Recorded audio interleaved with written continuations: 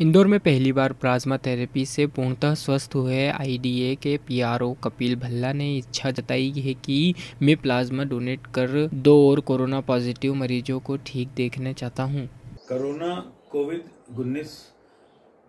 का जो संक्रमण काल चल रहा है, इसमें मुझे, मैं संक्रमित हो गया और मुझे अरविंदो हॉस्पिटल में इसके इलाज के लिए भर्ती किया गया प्रारंभिक कुछ समय में तो मेरे जो रिकवरी थी वो बहुत स्लो थी, क्योंकि मुझे पूरे ऑक्सीजन की ज़रूरत लग रही थी 24 घंटे और काफ़ी मात्रा में, परंतु मुझे वहाँ के जो डॉक्टर्स और,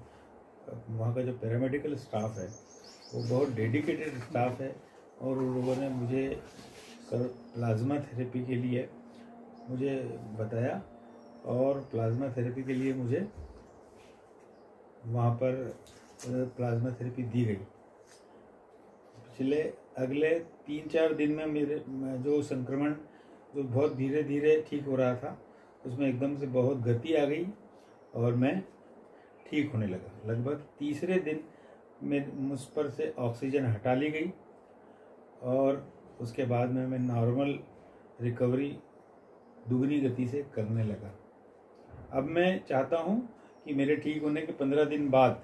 इसी प्लाज्मा थेरेपी के लिए तो प्लाज्मा मैं डोनेट करूँ और और दो मरीजों को